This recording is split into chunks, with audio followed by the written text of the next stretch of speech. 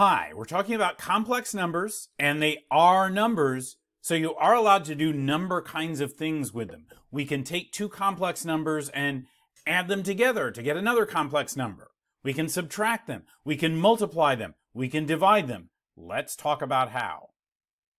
When you're adding complex numbers, you can kind of just pretend that the i is a variable, like x or y, and you're combining like terms. So you're adding together the real parts and combining the imaginary parts. So for example, 4 minus 9i plus 3 plus 2i equals 7 minus 7i. 4 plus 3 is 7, and the minus 9i plus 2i equals minus 7i. And that's it. That's all there is to adding. What about subtracting?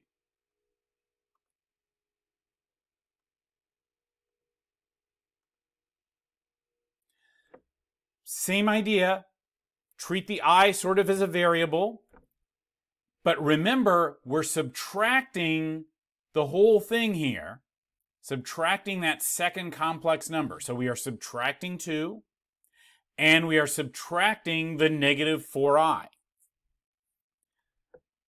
So 7 minus i minus 2 minus negative 4i. 7 minus 2 is 5. The minus i minus the minus 4i is plus 3i, and so that's the result, 5 plus 3i. Okay, what about multiplying complex numbers? Well, again, sort of think as, as if the i were any other variable. Multiply things out like with the FOIL method. So first we have 8 times 1 is 8. On the outside we have 8 times minus 2i is minus 16i. On the inside, we have minus 3i times 1 is minus 3i. And last, we have minus 3i times minus 2i is plus 6i squared. Then we can combine like terms in the middle. And remember what I said you can do with i squared. Anytime you see i squared, that's really just negative 1. So we don't want to leave that i squared in the answer we want our answer to be in standard form with just a real part plus an imaginary part times i and nothing more after that. So to do that, we turn the i squared into negative 1, and then we got 8 minus 19i, and then the 6 times the negative 1 would be negative 6, and when we combine 8 and negative 6, we get 2. So multiplying together 8 minus 3i times 1 minus 2i gets us the complex number 2 minus 19i. What about 5 minus i squared? Remember, we can't just distribute the exponents. Powers do not distribute over addition or subtraction. Instead, this means 5 minus i times itself, 5 minus i times 5 minus i, and what happens when you multiply out a binomial, something minus something else, you get the first thing squared minus 2 times the first thing times the second thing plus the second thing squared. So here that would be 5 squared, which is 25, minus 2 times 5 times i, so minus 10i, plus i squared, which is negative 1. And now we can simplify this further because the 25 and the negative 1 add up to 24. So 5 minus i squared turns out to be 24 minus 10i. What about dividing? Okay, so there's a trick to this, and it's essentially the same trick that we used back in section 1.8 5 when we were rationalizing denominators that had more than one term where one of them involved a square root. And we were trying to get rid of that square root, get it so the denominator didn't have any radicals. And the trick was we multiplied by almost the same thing, but with a different sign in the middle, the conjugate. We're going to use that same trick here. We're going to treat this as a fraction where we're allowed to multiply by the same thing on top and on the bottom, because multiplying by something over itself is really just multiplying by 1. And what we're going to multiply by is the conjugate of the denominator. Here, the conjugate of 3 plus i would be 3 minus 2i. So I'm multiplying by 3 minus 2i on top and on the bottom.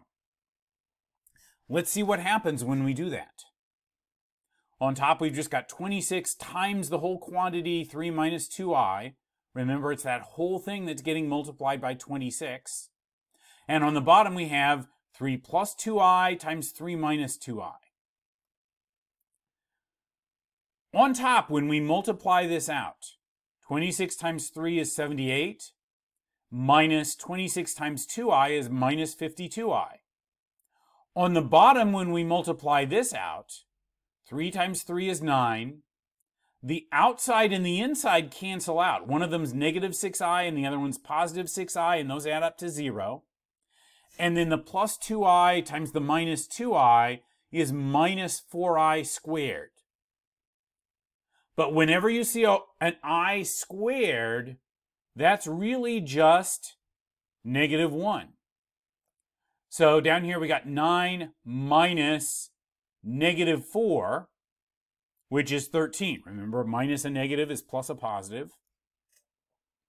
So now we have 78 minus 52i all over 13.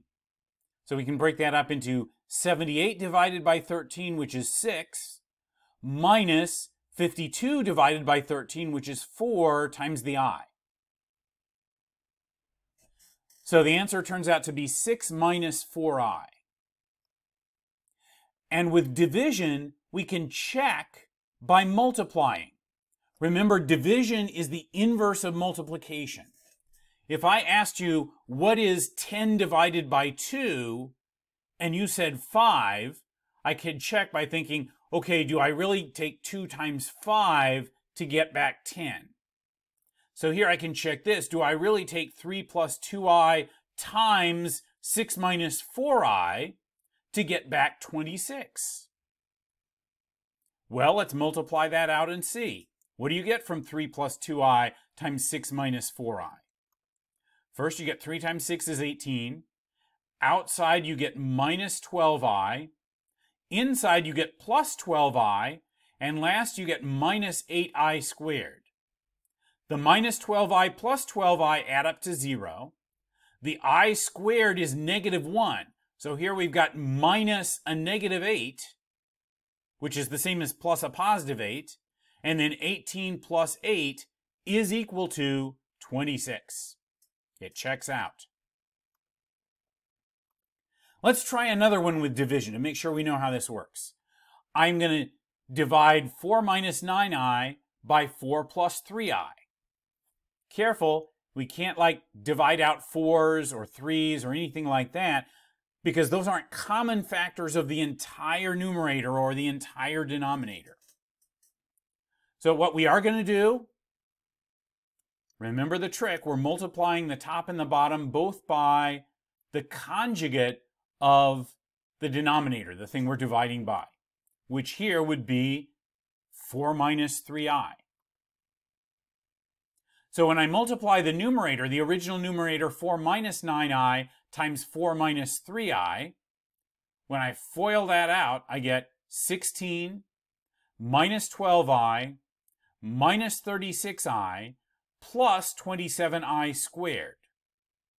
Meanwhile, on the bottom, I get 16 minus 12i plus 12i minus 9i squared. Let's simplify those. The numerator simplifies into 16. Combine the i terms and get minus 48i. Turn the i squared into a negative 1 and get minus 27. The denominator simplifies into 16. The i terms cancel each other out turn the i squared into negative 1, and then this would be minus a negative or plus a positive 9. Combine like terms, the 16 minus 27 is negative 11, and down here the 16 plus 9 is 25. So we've got negative 11 minus 48i over 25. And we're pretty much done. The real part is negative 11 over 25. And the imaginary part is negative 48 over 25 that's being multiplied by the i.